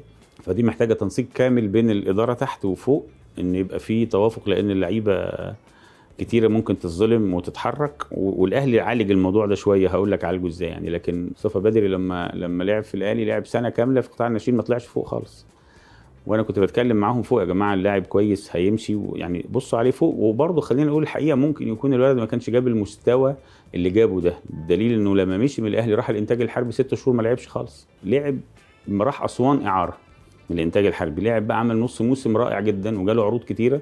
وكان من ضمن العروض أنا كنت قاعد مرة مع كابتن سيد وسألني عليه. قلت له يا كابتن خلي بالك الولد ده كان عندكم السنة اللي فاتت يعني وما فقطاع فطبعا إيه بقى؟ ال- ال- الخلاف مش الخلاف خلينا نقول عدم ال- المتابعة الجيدة بين فوق وبين تحت. هم عالجوها بقى السنين الأخيرة دي إن كان عدد الناس اللي بتطلع كتيرة جدا عدد الناس اللي بيرشحوها من تحت تطلع فوق بقت كتيرة جدا. فأنت هتلاقي أعداد كبيرة من الناشئين اتعرف اسمها في الماتشات الودية وكده. من ال... من ال... من مراجعة الخطأ اللي حصل في واحد زي مصطفى بدري إن هو كان من أولاد القطاع وأنت إزاي ما تاخدش بالك منه؟ فبالتالي لما لما عمل بقى موسم مع الإنتاج اللي إحنا شفناه ده موسم رائع كان مطلب بقى لكل الأندية. واظن أحد أهم الأسباب اللي خلته يروح الأهلي تاني هي أسباب ممكن تبقى تنافسية استثمارية أكتر منها فنية. بمعنى؟ تنافسية بين الأندية. في ناديين كبار عايزين نفس اللاعب مهم إن أنا آخده. واستثمارية إن اللاعب ممكن أشتريه ب X من الأرقام وأعيره السنتين دول بنفس ال X فأبقى كسبت في الكورة ويرجع لي إذا تطور وتفوق ما رجعليش هقدر أبيعه وأكسب. فهي فكرة استثمارية. تنافسية إنما الغريم بتاعك ما يكسبكش تقدر تاخد منه اللاعب لو أنت عايزه. وفي نفس الوقت ممكن اللاعب يتألق فتاخده تاني بعد مدة الإعارة اللي هي السنتين اللي راحها يعني. وهل فعلا الزمالك كان عايز مصطفى البدري؟ آه طبعا. وما حصلش ليه؟ بسبب اللاعب ولا بسبب لا ما أنا عشان كده بقول لك هي اللقطات الأخيرة دي حصل فيها كلام كتير جدا. اللاعب كان قريب جدا من سيراميكا وفاركو أكتر من الأهلي والزمالك بس المنافسة اللي في آخر يومين هي اللي عملت الل- اللخبطة دي. ويمكن مثلا أربع وكلاء اشتغلوا في الموضوع كل واحد بيشد في اتجاه. وكانت أنا لما كلمت الأهلي في الأول ما كان أمير يعني ما كانش مفكر قوي وبعدين رجع فكر بس بنص نص. وبعدين في الآخر الموضوع 24 ساعة كان القرار اتاخد والقيمة المالية كانت صغيرة بصراحة واللاعب يستحقها. أنا شايفه من أهم اللاعبين في مصر. بس في الفرق اللي عندها مساحات قدام بتلعب فيها هيبقى حاجة عظيمة جدا. إسلام جابر برضه حصل معاه نفس الكلام. بعد كده مش الكلام الفترة دي ليه كان الأهلي بيجيب لعيبة صغيرة وداها الناشئين وبعد كده ما بتكملش. في عدد من الصفقات بيجيبها النادي الأهلي من ال- زي ما قلت لك من الدرجة الثانية تبقى في لجنة لاختيار اللاعبين في الدرجة الثانية في النادي الأهلي. فممكن بقول لك تختار اللاعبين بس ممكن إيه ال ال ال الكفاءة واستم... وإن اللاعب يبقى جاهز ل- لأنه يجاب من الدرجة الثانية يلعب في الأهلي على طول بتبقى فيها مشكلة شوية. فالأهلي بيبقى عنده سياسة كده يجيب اللاعب ثم يعيره لأحد الأندية في الدوري الممتاز بالعلاقات في صفقات تبادلية زي ما بيحصل. فبالتالي اللاعب لو اتطور بيرجع لهم هم بيكونوا جابوا جزء كبير من الأموال اللي اتدفعت فيه فبالتالي ما بقاش الخسائر فيه كبيرة. بس ال- ال risk قليل والفايدة كبيرة. لو اللاعب ده تألق وبقى كويس ورجع لهم فبالتالي بيتم الفايدة منه. زي مثلا عملت عمار حمدي لما بيطلع ويرجع زي أحمد عبد القادر لما طلع ورجع ففي فايدة كبيرة. من إنك تجيب اللعيبة المميزة وتعيرها. لكن بقى إيه الاختيار لازم يكون يعني ممكن يح يعني يح يعني يتم محاوله تحسين الاختيار بالذات إن لاعب الدرجة الثانية تألقه في الدرجة دي مش معيار آه، كافي ونهائي لأنه يناسب الأندية الكبيرة في الدوري الممتاز. لكن لو راح أندية متوسطة ولعب فيها وكمل ممكن بعد كده يبقى مناسب للأندية الكبيرة يعني. البعض بيقول إن الكابتن تامر النحاس ما بيجيبش صفقات في الأهلي غير بال... بالاتفاق مع الكابتن عادل القيعي ترد على ده تقول إيه كابتن عادل القيعي هو فين الكابتن عادل القيعي؟ كابتن عادل القيعي ده راجل جميل والراجل وضع أسس لكل مديرين التسويق والتعاقدات في مصر كلها و... وأنا شايف إن هذا الرجل كان لابد من الاستفادة منه على مستوى مصر كلها إن يعرف الناس النواحي التنفيذية وال... والعملية في في المهنة دي عشان خاطر. ي... الناس تستفيد منه يعني الفترة اللي هو كان موجود فيها حصل شغل كتير جدا. كان ممكن ال... الناحية العمرية والسن كان كابتن عادل كبر شوية ف فكان موضوع الوكلاء دخل بشكل ما وكان بيتعامل مع كل الناس يعني. بس ممكن يبقى في سنة ارتياح شوية للتعامل مع حد صادق شوية. لو لقى إن تامر عنده شوية صدق شوية أمانة في ال- في العرض ما بشتغلش على الطرفين. إذا وعدتك بحاجة هعملها. يعني إحنا بنشتغل في مصطفى جعفر من 15 سنة قلت كلمت الكابتن عادل قلت له هيروح الزمالك؟ لا مش هيجي لكم كان في منافسة و- وقلت له خدته ورحت الزمالك. واللاعب اللي بيروح لهم بقول له هيروح لكم وبيروح. فكان في توافق شوية في في الشغل بشكل ما لكن كابتن عادلي بقى له يمكن ست سنين دلوقتي ولا سبع سنين مش موجود في النادي الأهلي. يعني موجود كمستشار كمستشار للتعاقدات والتسويق ولكن كناحية تنفيذية فترة جه كابتن هادي فترة جه كابتن سيد فترة جه كابتن مجدي طلبة فترة بقى من ساعة ما أمير جه وأنا شايفه بيحقق نجاحات جيدة في ظل الدور اللي هو بيقوم بيه إن إن 90% من الصفقات اللي بتطلب منه بينجح إن هو يتعاقد معاها. علما بأن برضه الظهير القوي اللي هو اسمه النادي الأهلي هي هيخدم أي حد في أي مكان لكن برضه قدرات ال- الشخص نفسه في, في, في وظيفته أو في مهنته بتساعد على تحقيق نجاح يعني. وده اللي قايم بيه أمير بصراحة. بالنسبة كانت الناس بتتكلم إن اللعيب اللي كان اسمه محمد جمال أنت كنت وكيله. تم الاتفاق بينك وبين الزمالك مستشار مرتضى منصور إن هو هيروح نادي الزمالك. وتم دفع مليون جنيه مقابل تسهيل انتقال عمرو السولية من ال- الإسماعيلي للزمالك. صحة الكلام ده إيه؟ لا هي القصة بتاعت محمد جمال تريكا ده أحد اللاعبين اللي عارف أنت ساعات في الكورة كده تلاقي لاعب موهوب فعلا لكن حظه قليل شوية. الولد ده فعلا عنده موهبة وممكن يكون اسم تريكا اللي ارتبط بيه يعني عمل ضغوط عليه أكتر من اللازم لكن اللاعب ده عنده موهبة كبيرة. وكانت الفكرة لما كان المدربين بتوعه معظم مدربين الترسانة بيبقوا من نادي الزمالك. فلما رشحنا اسمه اتصل مستشار مرتضى بالمدرب ساعتها أنا مش فاكر مين فمش عايز أقول بس معظم المدربين اللي كانوا موجودين سواء ال- ال- الكابتن أحمد عبد الحليم أو أو مش مش فاكر مين التاني بس في حد اتكلموا من مستشار مرتضى وقالوا لا لاعب خده ودفع فيه مليون جنيه وكانت الفكرة إن القايمة كانت زنقت إنها كانت 31 ف- فطلع إعارات للداخلية آه، سنة وبعدين السنة اللي بعدها برضو القايمة كانت بتخنق شوية فتم الاستغناء عنه وما خدش فرصته في الزمالك مع إن أنا متخيل إن لو كان خد فرصته كان ممكن يبقى حاجة كبيرة يعني لكن محمد جمال ما كانش ليه دور خالص آه، في لا هو في كان الكلام. اللي هو يعني الاتفاق بينك وبين مرتضى منصور اللي هو ده هيجي فالسنة الجاية خلي بالك أنا في شغلي. مع عايزين نعرف بقى طيب لا أنا في شغلي مع ال- إيه؟ في شغلي بسيط جدا أنا باجي أقعد مع اللاعب اللي عندي وأقول له أنت عندنا عرض من الأهلي من الزمالك من بيراميدز واخيره بين العروض وادي له بخبرتي المزايا والعيوب في كل في كل مكان. وإن حتى النواحي المالية ببقى أنا بنسبة كبيرة بستنتج شكل الأرقام اللي إحنا بنتحرك فيها. فاللاعب بيبقى مختار هيروح فين قبل ما نروح. فلو جيت على السوليه هو اختار الأهلي. وأنا بلغت المستشار مرتضى وحتى حصل حاجة لذيذة. كان ساعتها في انتخابات مجلس الشعب وكان عمرو السولية البلد اللي هو منها من ضمن الدائرة الانتخابية بتاعة المستشار مرتضى فحصل كلام مع ناس هناك قريبين من ولاد عمرو وكان الوضع مستقر جدا إن الولد هيروح الأهلي. حتى كان في مباراة بين الإسماعيلي والزمالك والمستشار مرتضى نزل سلم على لعيبة الإسماعيلي وهزر مع عمرو وكان عارف إن عمرو مش هيجي. فما كانش فيه حاجة خالص هو كان عايزه. طبعا وعمرو أي حد يعوزه لكن في الآخر بتستريح أنت من إيه؟ هو المشكلة إنك تعمل آه، منافسة غير حقيقية بين الأندية عشان تعلي سعر لاعب أو تعمل آه، مشكلة يعني. في الآخر بتخسر أحد الناديين. لكن لو من الأول النادي اللي عايز اللاعب أنت قلت له اللاعب ده عايز يجي لك وانتهينا خلاص. النادي التاني بيخرج حتى ما بيحصلش ازدياد في الأسعار لما أنت بتعمل كده يعني. محمد شريف كان وقع للزمالك وفجأة بقى موجود في الأهلي. عايزين نعرف كواليس الزمالك إيه؟ كواليس الأهلي إيه؟ أنت عايز حاجات قديمة كنت ليه؟ مش عارف. طيب خلينا نقول محمد شريف فعلا وقع للزمالك وقع في مكتبي.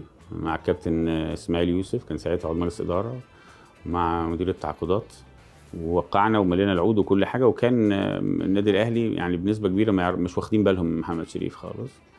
وبعدين كان عنتر راح الزمالك في نفس الأسبوع ده وكان المفروض اللي يروح بعديه كان محمد شريف كان ساعتها كابتن إيهاب جلال هو المدير الفني. وهو كان واخد باله من محمد شريف وطلبه. آخر ثلاث أيام حصل منافسة شديدة لو تفتكر بين الأهلي والزمالك في صلاح محسن. فبلغوني نادي الزمالك إن هم هيستنوا على محمد شريف لنهاية السنة. لأن ما كانش ينفع يجيبوا محمد شريف وصلاح محسن. كان واحد فيهم كان عندهم أمل كبير جدا يجيبوا صلاح محسن بالذات إن الكابتن إيهاب كان مدربه في إنبي وزكى وجود اللاعب في نادي الزمالك. يعني كابتن إيهاب جلال زكى صلاح محسن عن محمد لا شريف؟ لا لا عايز الثلاثه عايز عايز, عايز التلاتة. عنتر بس نادي الزمالك قال هجيب اتنين بس. خلص عنتر ودخل على آه صلاح محسن عشان كان الصفقه ب 45 هو برضه خلي بالك محمد عنتر كان في كلام مع الأهلي.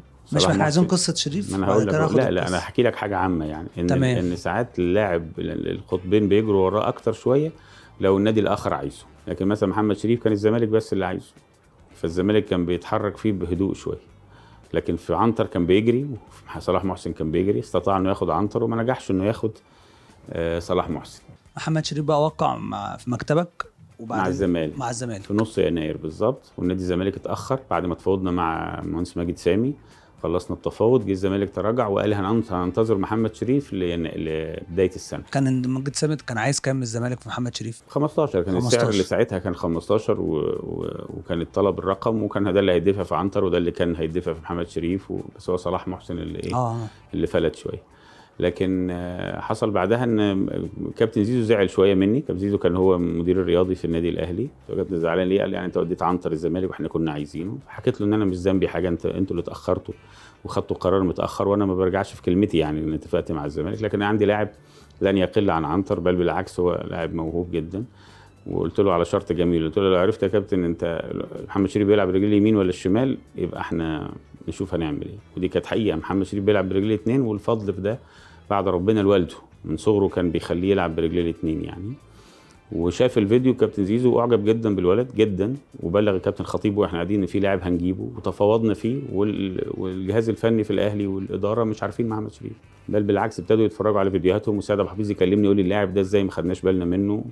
واللاعب لعب مباراة كان وحش فيها جدا وحتى حصل اتصال بين الكابتن خطيب والكابتن زيزو. قال له الولد يعني هل هو أنت متخيل إن هو على المستوى يا كابتن زيزو؟ كابتن زيزو تحمل المسؤوليه كاملة. هو سبب الرئيسي لوجود محمد شريف في النادي الأهلي. كابتن زيزو خد مسؤولية في يوم 30 يناير وتحملها كاملة والحمد لله إن الولد نجح. وما الولد ما نجحش في أول ست شهور. أنا طلعت قلت ده هيبقى مستقبل الكرة المصرية لأن أنت بتتكلم على لاعب عنده إمكانيات. ممكن يبقى عنده بعض القصور في الشخصية عالجها مع الوقت وعالجها في الجزء ال- الفني شوية في السنة بتاعت انبي لكن هو لاعب ذو إمكانيات آه، فعلا عالية جدا. عنتر إيه اللي حصل؟ هو كان رايح الأهلي خلاص وفجأة بقى في الزمالك. محمد محمد عنتر كان في ال- النادي الزمالك مضاه برضه في هقول لك حاجة محمد عنتر ومحمد شريف مضوا في نفس اليوم عندي في مكتبي. ده الساعة 10 بالليل وده الساعة 12 بالليل. في مكتبي مع نفس الأشخاص اللي إحنا مضينا معاهم. ولكن عنتر بعد ما مضى في ال- النادي الزمالك كان مستغل ال 15 مليون اللي اتطلبت. فكان ماسك في العشرة. الأهلي قدم عرضه وصل ل 13 مليون. فوافق آه، الحاج محمود الاسيوطي على بيعه للنادي الأهلي ولكن نادي الزمالك في آخر لحظة عرض ال 15 مليون وعرضهم كاش. فكان في تخوف إن ده مش هيحصل لكن سيف ابن الحاج محمود الاسيوطي راح نادي الزمالك وخد الفلوس كاش بشنط ومشي بيها. يعني إحنا عندنا مثال كده عبد الله السعيد لما مضى في الزمالك في, في قرار هو طبعا يتحمل مسؤوليته وممكن يكون صح يعني أو غلط كل واحد ياخده براحته. كانت الفكرة كلها إنه ما خدش الشيك مكتوب فيه رقم كبير. هو الفلوس كانت مترصصة كده فقدرتك على اتخاذ القرار والفلوس قدامك بتبقى أسرع شوية من إنك أنت ماسك ورقة لسه هتروح تصرفها بكرة. لكن لكن لما بتشوف الرزم 2000 رزمه امتينات رقم ضخم جدا بيخلي القرار سريع يعني. مجدي قفشة ده جميل. محمد مجدي قفشة ده أحد أهم اللاعبين اللي موجودين في مصر. من زمان يعني حاولت أوقع معاه. من زمان جدا من هو لسه صغير يعني. قبل انبي هو تاريخه لو الناس تفتكر كان انبي ناشئين. طلع سنة الرجاء وبعدين رجع انبي تاني وفرق معاه جدا الكابتن إيهاب لما جه انبي بعدين انتقل لبيراميدز قعد سنة في صفقة برضه تعتبر عالية. ثم خد قرار غريب جدا هو ده بقى ساب الفلوس كان بياخد في انبي رقم في بيراميدز رقم كبير. خد تقريبا 60 أو 65% منه في الأهلي وترك الفرق ده الكبير عشان النادي الأهلي. كانت فكرة. فكان اللي هو يعني عنده هاجس من التوقيع لل- للوكلاء. فكان رافض. هو بيشتغل مع اثنين من الوكلاء الشباب الجمال جدا عبد الرحمن إسماعيل وإسلام الشحات ولاد جميلة جدا. وتوافقت أنا معاهم في إن إحنا ممكن نشتغل في النادي الأهلي وساعة ما كان في بيراميدز وكنا قاعدين في كافيه فقلت له أنا ما بشتغلش مع حد مش ماضي قفشه فامضي لي فكان مش عايز يمضي فجبت ورقة منديل ومضيته عليها يعني. في مفارقة غريبة جدا إن أول عقد مضاه ميسي في حياته كان على ورقة منديل لحد يعني هو صغير 13 سنة. فمضى على ورقة منديل ومعانا المنديل يعني تذكار فان هو كان أحد الأسباب اللي ربنا كرم قفشه إنه يروح فيها ال- النادي الأهلي. كان الصعوبة مش إن النادي الأهلي عايزه ولا لا كانت الصعوبة إن بيراميدز كان ليها رغبة في استقطاب أحد اللاعبين من الزمالك وهو إبراهيم حسن وبالمناسبة لاعب كبير فكانوا عايزين يودوا قفشه الزمالك عشان ياخدوا إبراهيم حسن ال- الزمالك يروح إبراهيم حسن يروح بيراميدز وقفشه يروح الزمالك ولكن اللاعب اصر وتنازل كتير جدا ماليا عشان يروح النادي الأهلي. مش فاكر بصراحة أسماء في فكرة إن لاعب يبقى في الزمالك فالأهلي يعرض أكتر. أنا قلت لك هي القصة في الآخر القصة المالية فعلا قريبة يعني ما بتبعدش. الاثنين الناديين بيقربوا من بعض لكن ممكن يبقى في عدم التزام باللي مكتوب في العقد مثلا في فترة سابقة من نادي الزمالك. فاللعيبة بتحب تروح الأهلي لأن كان الالتزام أكتر. لكن مثلا آخر خمس سنين الالتزام المالي في الزمالك رائع جدا مفيش حد ليه فلوس. المعيار الأساسي دائما لأي لاعب هو المشاركة بالنسبة لي أنا إنك تشارك في نادي متوسط أو نادي من الأندية ال- ال- في نص الجدول أو حتى في آخر الجدول أهم مليون مرة من إنك تروح نادي تقعد فيه احتياطي وما تلعبش.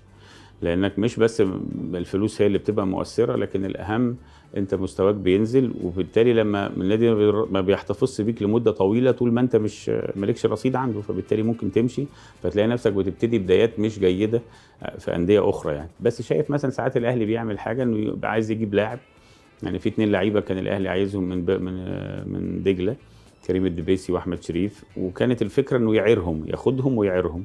طب المبالغ بتاعتهم كبيرة. اللعيبة دي مستر ماجد سامي شايف إنه ممكن يبقى لها فرصة في في المشاركة في النادي الأهلي فهو مش عايز يعيرهم لأن بيبقى في نسب بيع بعد بعد ما يتم التعاقد بقيم مالية معينة فهو شايف إن اللعيبة تشارك. فالأهلي شايف إن لأ نطلعها إعارة على طول آه، عشان تشارك في أندية أخرى وتيجي تلعب. فأنا شايف إن الأمثل إنك بتدي فرصة للاعب سنة في الأهلي إذا أثبت نفسه ويلعب أوكي بالذات لو سنه صغير ما أثبتش نفسه بتعيره لمدة سنة بعدها تقدر تقيم فكرة مستواه ومشاركته لأن يعني مش حلو قوي إنك تجيب اللاعب النهارده وتعيره النهارده. يبقى ما دخلش حتى النادي يعني ما اتحسبش حتى على النادي ما خدش فرصة ما خدش حتى آه، نقول إيه نضوج ال- المشاركة مع نجوم الأهلي فبالتالي يكتسب قدرات. لما تيجي تعيره بعد كده يبقى عنده آه، التزامات والحاجات الحلوة اللي بيكتسبها من الأهلي يروح يطبقها بره فيبقى اسمه لاعب الأهلي. إنك لما تجيبه في أول لحظة وتبيعه على طول قبل ما يخش الأهلي حتى ما بيخشش جوه المنظومة. فبالتالي ما اكتسبش حاجة. لعيب آه، أول ما بدأت مثلا وعقليته لحد دلوقتي عجباك مين؟ يعني خليني أقول لك أهمهم عمرو السولية بصراحة. يعني هم في كتير. عمرو السولية عقليته تعجبني جدا. أحمد مدبولي من الناس اللي, عقليته كويسة جدا. محمود علاء. اللعيبة اللي عقليتها مختلفة ديت هي اللعيبة اللي, اللي فاهمة ان إن مجال كرة القدم هو مجال قصير المدى. من 10 ل 15 سنة ماكسيموم للاعب. لو لم يحقق فيه نواحي مالية جيدة فبالتالي هيبقى عنده مشكلة. فلو ضيع فرص كتيرة في إن هو ما اهتمش بنفسه وتدريباته وتطوير نفسه هيبقى عنده مشكلة كبيرة إن الكرة هتنتهي. وللأسف المستقبل بتاع اللاعبين نتيجة بعض القصور في. في النواحي التعليمية وال... وال... والإمكانيات حتى يطور نفسه في جانب ال... الوظيفة إنه يبقى موظف بعد كده حتى لو في المجال فبيبقى عنده مشكلة شوية ودي عندنا مشكلة عامة إن اللاعبين مش لازم الموهبة أو اللاعب الكويس يكون عنده قدرة إن هو درس فبالتالي يبقى عنده ناحية تعليمية ممكن تساعده شوية لو حتى ما ما كملش في مجال ال- الكورة كتير فاللي فاهم كده وطور من نفسه وفضل يطور ده اللي هيبقى عنده إمكانية إن هو يبقى حاجة كويسة في المستقبل حتى بعد مجال الكورة. فإحنا لما نيجي نتكلم على اللعيبة اللي هي عندها التزام وفهم شوية هتلاقي اللعيبة ديت يا إما الأهل كان ليهم دور في إن هم شخصيتهم تتكون يا إما ثقافته وتعليمه. فنيجي نقول عمرو السوليه لا كان ليه دور وبالذات والده كان متابع جيد جدا لكل خطوة في حياته. فبالتالي عمرو السوليه من أهم اللعيبة اللي أنت تقدر تقول إن هي عندها شخصية وتحدث فارق في تفكيرها. والتزامها. هنقول أحمد مدبولي في الإسماعيلي من الناس اللي عندها شخصية بالذات إنه يدرس الحقوق والحقوق دي من أهم ال- الكليات اللي ممكن تبني شخصية الإنسان. محمود علاء خريج حقوق فبالتالي برضو عنده عنده إمكانيات عقلية جيدة جدا وهو بيفكر. مش لازم الإمكانيات تبقى أعلى حاجة للاعب لكن ممكن ذكائه يخليه يظهر إمكانياته العالية وي- ويداري على إمكانياته الأقل فبالتالي يبان بإمكانيات جيدة. ففي لعيبة كتير أنا مش عايز أنسى حد لكن أنا بكلمك في العموم اللاعب اللعيب مش معايا أنا متخيل إن هو بي- بيعمل شغل على نفسه كويس جدا هو طارق حامد مثلا في الزمالك. إن أنت ما بتتكلمش على لاعب ذو إمكانيات جبارة يعني كموهبة لكن كإمكانيات واحد فاهم مهام مركزه وفاهم إن رأس ماله في هذا المركز هو الناحية البدنية فبيشتغل برايفت على نفسه فبالتالي هو في هذا السن 32 33 سنة ما زال مطلوب من ناديه وأندية أخرى وبياخد أرقام كبيرة فده واحد فاهم بيشتغل على نفسه. أنا يعجبني النوع ده. رامي صبري من النماذج برضو اللي أنت ممكن ت... تقول إن هو حافظ على مستواه في, في ظل إمكانيات جيدة في انبي فترة طويلة جدا. ومن الناس اللي, اللي كان نفسي نادي الأهلي لما طلبوا انبي كانوا يوافقوا. كان نفسي انبي تراعي جدا إن إن الفرصة اللاعب في هذا السن في هذا الوقت لما تجيله في ظل ظروف احتياج لهذا المركز كان لازم يسيبوه.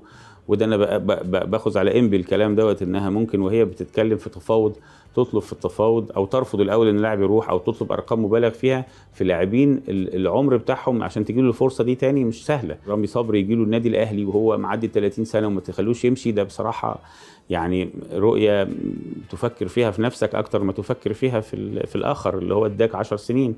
علي فوزي عنده 29 سنة لما تجيله فرصة في بيراميدز هياخد فيها أربع أو خمس- أضعاف اللي بياخده عندك. لازم يبقى في مراعاة شوية وأنت بتتفاوض مش لازم تاخد أحسن حاجة. يعني أنا بواجه بعض المشاكل في إقناع الناس بده علما بأن أنا مقدر تماما إن الناس ممكن يبقى عندها نواقص في الاماكن دي ومصلحة الفريق مهمة. لكن في سن معين للاعب لازم يبقى عندك آه، رؤية أكبر شوية لأن اللاعب عمره قصير. طب لعيب مش معاك تتمنى اللي كنت تبقى وكيله؟ طب خلينا نقول قصة ما حدش يعرفها. محمد صلاح كنت أنا متعاقد مع شركة إنجليزي وكانوا جابوا عرض لمحمد صلاح في اسكتلندا أحد الفرق الكبير. كان لسه محمد صلاح في المقاولين العرب ومضى محمد صلاح عقد لهذه الشركة في أوروبا. والشركة جابت له العرض ولكن أثناء ده جات له عرض من شركة أخرى على انه ينتقل لبازل. وقعدت مع محمد وقال لي إن أنا يعني بفضل بازل وكان طبعا يبقى في مشكلة إنك تبقى موقع لاثنين وأنا قلت له ما تقلقش العقد عندي وما زال العقد عندي لحد دلوقتي وراح محمد صلاح بازل وانطلق في أوروبا كنت أتمنى إن بازل يتأخر شوية ويروح اسكتلندا ونكمل معاه. لكن هو جميل يعني. لو انت عندك لاعب بعقلية محمد صلاح انت كوكيل هتستريح جدا لأنه هيديك المساحة اللي انت تقدر تشتغل فيها وهيبقى دوره واضح جدا في تطوير نفسه فنيا وعقليا ويديك المساحة في التفاوض في كل اللي يهمك فبالتالي انت بتريح نفسك. لكن إحنا للأسف عندنا في بعض الأحيان اللاعب بيظن إنه يوفر شوية لو اتعامل من غير الوكيل فبالتالي هو بيخسر على المدى البعيد للأسف لأن كل واحد أولى بشغلته. انت كلاعب محتاج تركز جدا في النواحي الفنية وتطور نفسك إزاي وتركز في الملعب وتترك ال- المفاوضات لل- للوكيل بتاعك طالما تثق فيه و... وعنده من الكفاءة والأمانة اللي انت تثق فيه فخلاص سيبه بقى يقوم بدوره وانت قوم بدورك فيحصل نجاح وكده. لكن لو انت فكرت في الآخر انك توفر النسبة اللي هياخدها وده بيحصل في بعض الأحيان للأسف فبالتالي على المدى البعيد بنخسر شوية بالذات إن محدش بياخد رزق حد يعني. طيب صفقة سببت لك مشاكل في أحد الأندية الأهلي أو الزمالك؟ طيب هي في يعني انتقال كان يعني عمل لي مشكلة شوية وأنا طبعا ممكن أكون يعني تسرعت شوية فيها. كان أيمن أشرف كنت أيمن أشرف أنا خدته من من الأهلي إعارة سنة لسموحة وبعدين سموحة اشتريته من النادي الأهلي وقعد ثلاث سنين في سموحة. ولما بقى فري فكن كان يعني النادي الأهلي كان لسه ما خدش قرار إن أيمن أشرف يرجع. فأنا عرضت على النادي الأهلي وما ادونيش قرار ساعتها. وكان أحمد مرتضى منصور قابل الكابتن أيمن أشرف في الساحل واتكلم معاه وخد له ميعاد من المستشار مرتضى منصور. فقبل الميعاد ده بيوم آه، كابتن حسام البدري كلمني وقال لي أنا بفكر في أيمن وعايزه عشان يخدمني في موضوع المساك وال- وال back left وأنا اللي كنت الد- الدرجه الأولى وهو صغير يعني.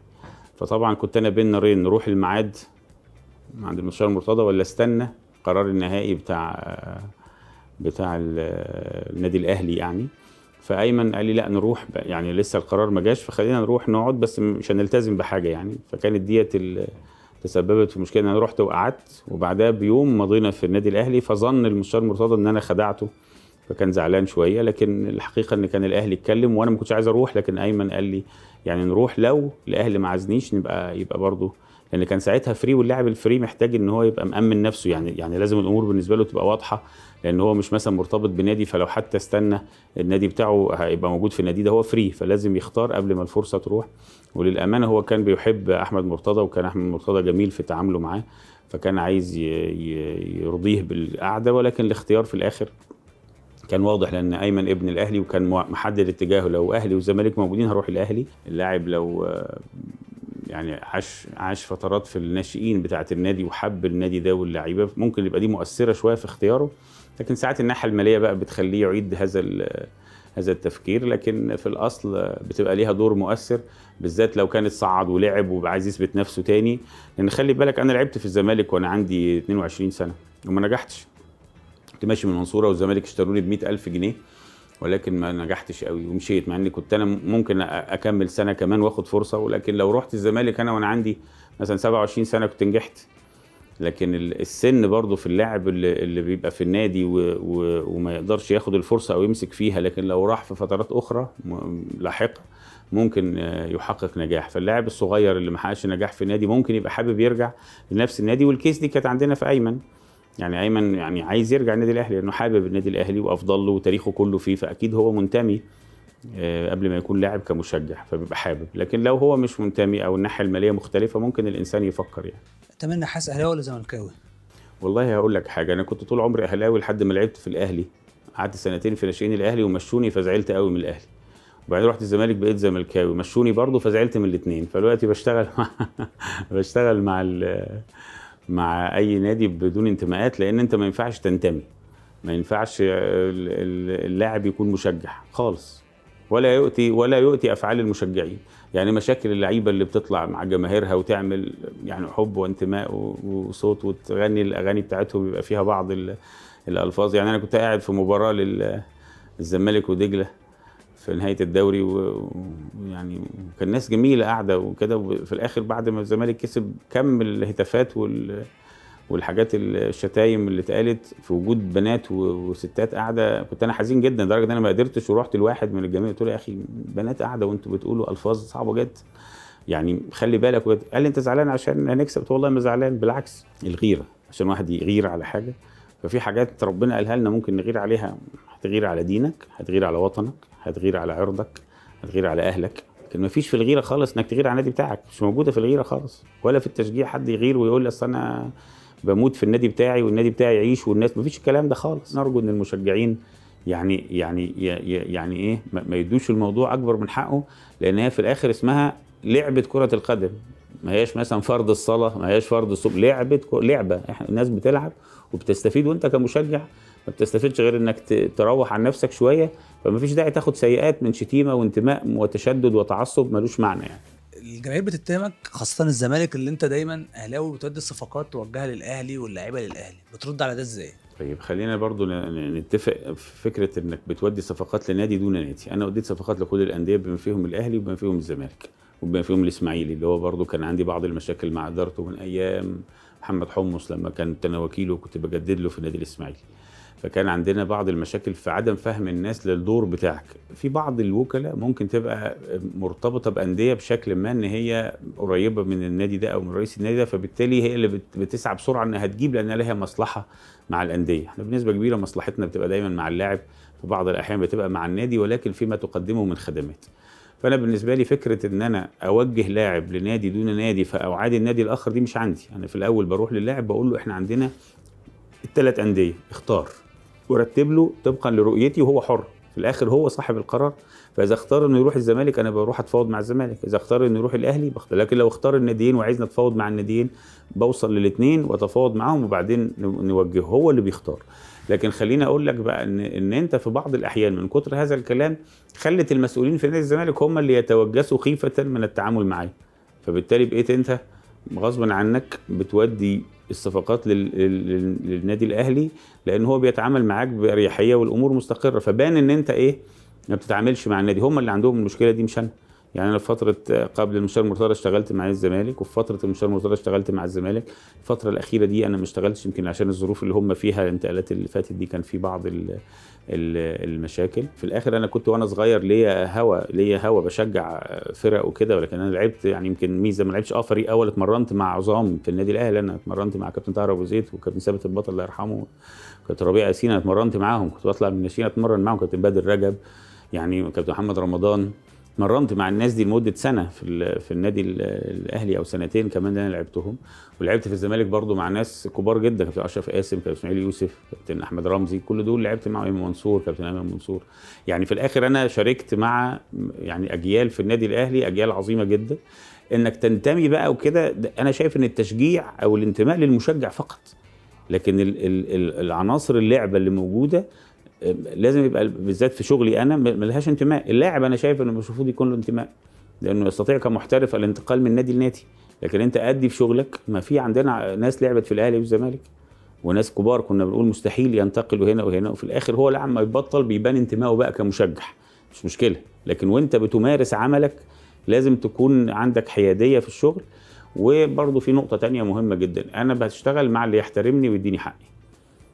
فلو كان ال- الإدارة اللي موجودة بتحترمك وبتديك حقك وتقدر ما تقدمه هتشتغل معاها علما بأن أنا ممكن أشتغل مع الطرف الآخر ما بيعملش كده لو اللاعب رغبته يروح النادي ده. طيب أنت كنت لاعب في المصري أنت مفيش الفكرة اللي أنت تساعد النادي المصري أو تعمل حاجة للمصري؟ أنا لعبت في بدايتي كانت وأنا عندي 19 سنة وأنا فوق السن يعني ما لعبتش كورة ناشئين كتير هم سنتين تحت السن كان سنة منهم في نادي الصيد وسنتين في النادي الأهلي. دول الناشئين اللي أنا لعبتهم. طب قبل كده كنت فين؟ كنت بذاكر ودخلت كلية هندسة وخلصت إعدادي هندسة وأنا ما بلعبش كورة. ابتديت كورة وأنا في أولى هندسة في نادي الصيد. ثانية وثالثه كنت في النادي الأهلي. بكالوريوس هندسة كان أول سنة ليا فريق أول مع المنصورة. ثم الزمالك اشتراني لعبت سنة في الزمالك. ثم انتقلت للمقاولين. لعبت سنتين في المقاولين. خدت كأس أفريقيا سنة 96 معاهم. ثم انتقلت للمصري.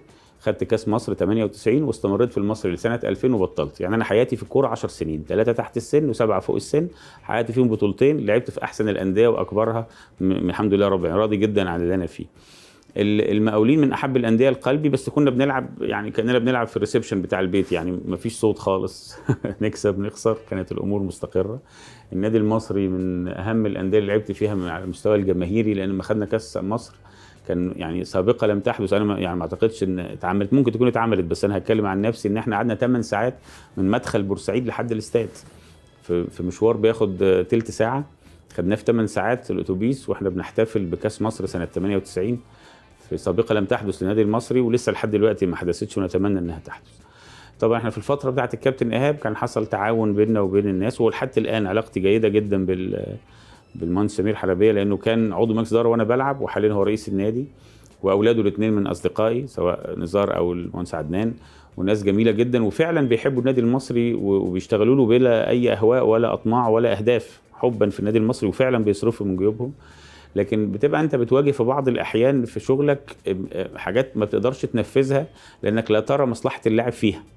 يعني لما يبقى ال- النادي المصري جاي في نادي عايزه وفي نادي آخر مثلا زي إنبي عايز اللاعب واللاعب حابب الاستقرار من غير ضغط وكده فتوديه إنبي فالمصري بيزعل منك في بعض الأحيان يعني.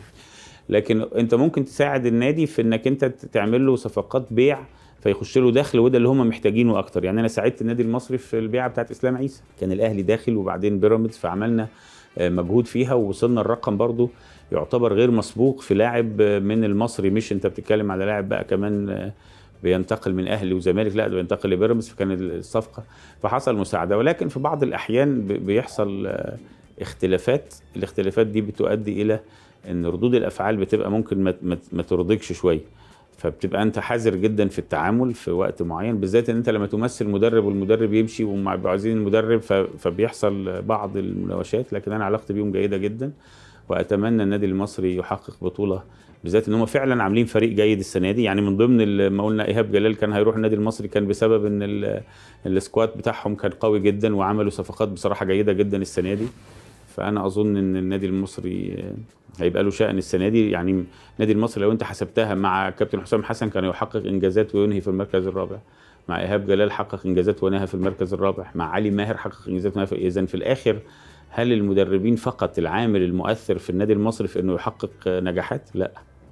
الثلاث مدربين اللي راحوا له في آخر آه، عشر سنين أو سبع سنين حققوا نجاحات الثلاثه اذا العوامل اللي يوفرها النادي المصري سواء من استقطاب لاعبين موهوبين أو قطاع عندهم بيطلع لاعبين وجماهير بتحب النادي أنا شايف إنها من عوامل نجاح النادي بغض النظر عن اسم المدرب اللي موجود وأتمنى النجاح ليهم يعني. بنشكرك يا كابتن على الضيافة اللي انت موجود فيها ويعني شرف لينا وجودك معانا في موقع في الجول. والله جميل. أنا سعيد سعدت جدا بوجودي وأرجو بس إن إحنا نكون قلنا قصص كويسة الناس تنبسط منها وفي نفس الوقت نكون قلنا حاجة مفيدة برضو عشان ما تبقاش في الآخر ألف ليلة وليلة يعني. لكن أرجو من الله الناس تستفيد وإن أنا أكون ضيف خفيف على الناس يعني. كتر خيرك.